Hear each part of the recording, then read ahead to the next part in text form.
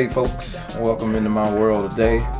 Um, so what I'm doing is I'm learning a new software, Ableton. Not sure how many of you guys out there do music are familiar with that. Um, why this is fun or why this is cool to to do or to use. Um, where I work, the church that I work at, we normally run like what's considered click tracks and uh, basically what that is is that's a consistent like metronome type thing. It keeps it keeps the beat. And sometimes you can kind of get fancy with it and add other instruments to it. Like if your band um, is missing members like a guitar player a keyboard player whatever your band is missing you can use the stems. And a lot of times a lot of the recording artists that you hear on stage everybody from Beyonce on across the board they use backing tracks or stems or that kind of thing just to kind of fill out the sound. So with this software, what it, it enables me to do, from what I've seen other people do, I ain't got into it that much, but watching the software, what it allows me to do is it allows me to go in here and kind of set the sessions up and allows me to lay it out in a way that is not like iTunes where I just play it and you know we have to do the song like format. But if I want to stop stop it or start it over in a certain place or repeat the verse repeat the bridge that kind of thing it allows me to go in there and do that and it's still on time. So that's the cool feature about it. I'm still I'm in the basic the very basic mode right now and uh, yeah it's definitely um, definitely a learning curve for me I really I honestly hate learning new software but it's like I hate it and I like it. I, I like the challenge of learning it, but like the I don't know. It's like, I guess it's a, for me it's a mental thing. It's just the whole idea. Of, oh man, I gotta learn a, a brand new software. Uh, that whole learning curve thing, but I'm not against it because I know it keeps me on my toes as a, arranger, producer, that kind of thing. It keeps me, you know, learning, keeps me sharp, and not to mention I like doing the backing tracks, that kind of thing, doing the what they call stems, creating it. It, it, it for me, it's a type of exercise for me that, that helps me to stay up on my production chops. Uh, so when it comes to me actually sitting down and really producing a song for an artist, I got so many different elements that I can pull from, from you know, redoing these different songs and stems. And, and my pal always is YouTube yes, I have no problem. I have no problem going on YouTube, looking up lessons, uh, looking up little tutorials, little uh, tips, that kind of thing, just to kind of help me along the way. Anything that can cut down the time, the time on that learning curve, I'm all for it.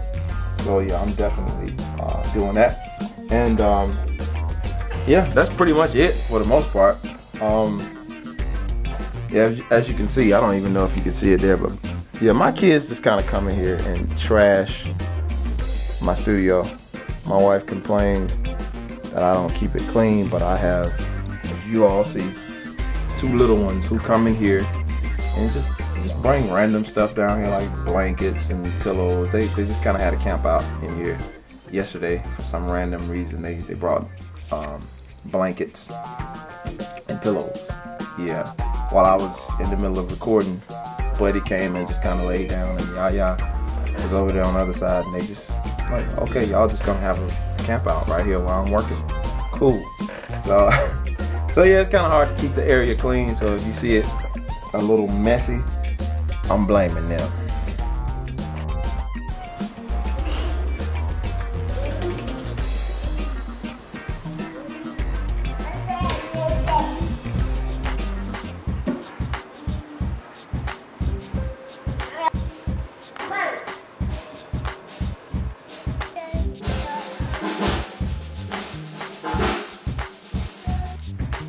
And this is pretty much what generally happens when I start working. And they're just getting started.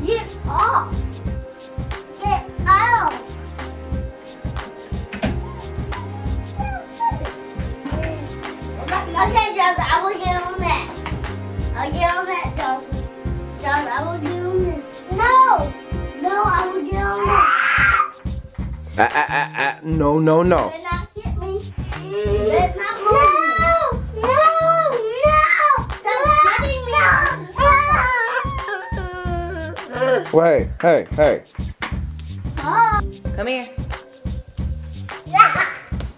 Buddy, did you pee pee in your clothes? Bubba, Buddy, did you have an accident? You didn't? Did you have an accident?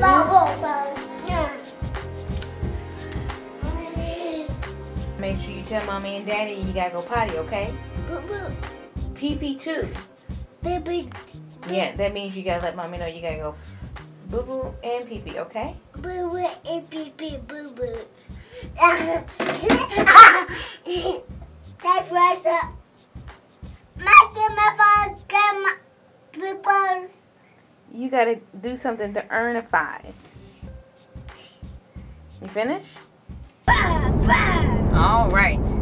So we're gonna try again. Today is the second Day. day for what? To go to swimming class. So the swimming class, and hopefully Buddy has a better experience this time. So we try to do like swimming with us, but all he does when I take him in the water is just hold on to my neck. And then if I try to dip him down with me, I want to get out. I want to get out. So um, we decided to get somebody else to teach them. Me. Yeah. No, I know how to swim under the water. she know how to dip her head under the water. Under But the you don't know how to swim yet. water. Not yet? You gonna get in the water by yourself? Yeah. You gonna be a big boy? As you can hear, Buddy is swimming with Miss Amanda. And he's not a happy camper. He's howling even from here. So how was your swim class today? It's fun. Did you enjoy yourself?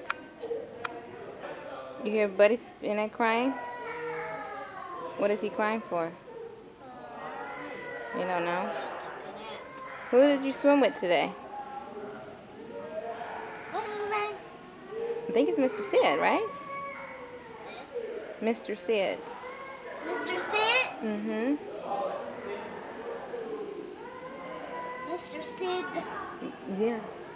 Mr. Sid. He has an E in his name and a B. I didn't say, no, it doesn't. no, he doesn't. Oh! I don't see him anywhere.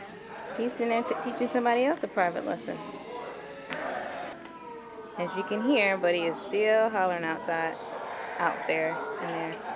Can you guys see him? He's with Miss Amanda.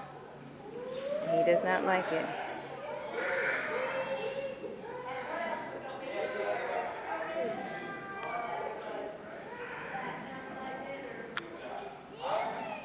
All right, so we're bringing this day to a close. It's been a busy day, and we're putting the little ones to sleep. He had to have his Elmo. You can see Elmo is there now. Get into bed. Night night. Night, night.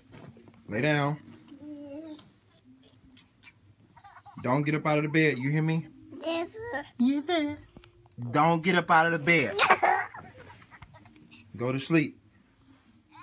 You wet your pants all up. So he has to have Elmo. He has to have BB ball, which is giggle ball. And some kind of truck. Generally, before he goes to sleep. Why? I don't know. He needs all of this stuff in the bed. Or he'll get up during me and mama's movie time. Night night, buddy. Night, night. Night night, buddy. Night, night. And this is how the big one's bed look normally before she goes to sleep. Yeah, see the bed looking like a tornado hit it. And of course, all of the babies. Just gotta have all the stuffed animals, all that good stuff. All these stuffed animals were toys. Why do you need all of these stuffed animals to go to sleep? Because I like, I like all of them. Why do you need them? Why do you need the stuffed animals to go to sleep? Cause, because you can't, You gave me those when I was three. Okay, but you need to go to sleep and don't be in here playing. Okay? Okay. Love you.